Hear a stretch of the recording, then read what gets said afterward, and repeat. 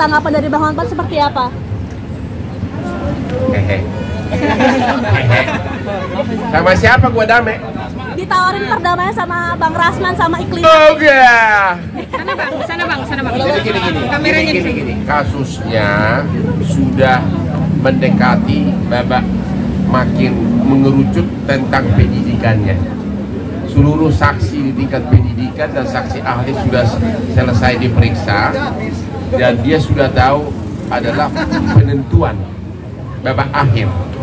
Jadi dia sudah khawatir atas masa depannya yang dulu dia sangat berapi-api ngomong kasar tentang seorang Hotman pengacara, seorang Hotman Paris yang seribu kali sukses dari dia.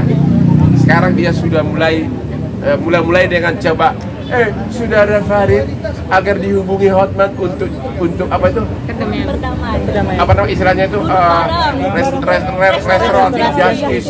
Itu kan arahnya berdamai. Sejak kapan dia ngomong begitu? Ya dan agar benderamu kita sama. Bendera gua sama dia selalu jauh dah. Orang dia jauh gua lebih sukses dari dia.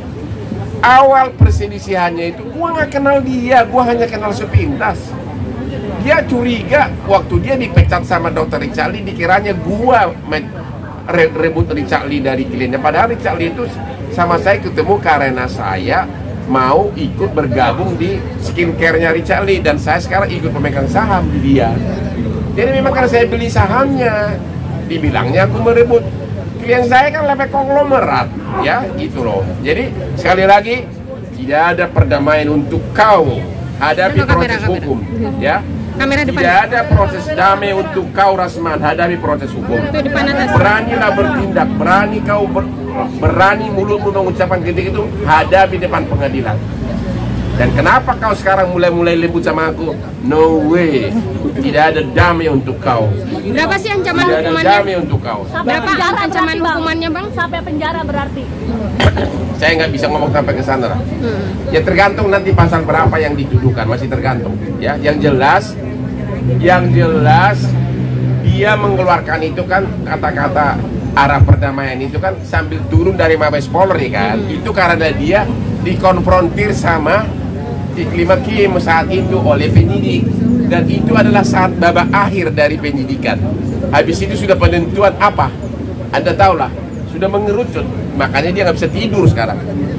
Makanya jangan lawan lah orang beda. Udahlah. Udah mau satu tersangka. Habis itu sudah penentuan apa? Anda tahulah, sudah mengerucut. Makanya dia nggak bisa tidur sekarang. Makanya jangan lawan lah orang beda. Udahlah. Udah mau satu tersangka berarti ya Bang? Anda, saya nggak bisa komentar begitu, tapi semua proses di tingkat penyidikan sudah makin mengerucut. Dua saksi ahli dari pengacara juga udah diperiksa. Dua saksi ahli pengacara mengatakan bahwa memenuhi unsur semuanya. Dua saksi ahli pengacara mengatakan memenuhi unsur semuanya. Apa aja, Makanya Bang? mereka dikonfrontir antara dia dan Iklim Hakim. Itu adalah babak akhir. Sama juga waktu klien saya uh, Teddy Minahasa sebelum babak akhir kan dikonfrontir dulu. Nah, lihat aja sebentar lagi. Bang, bang?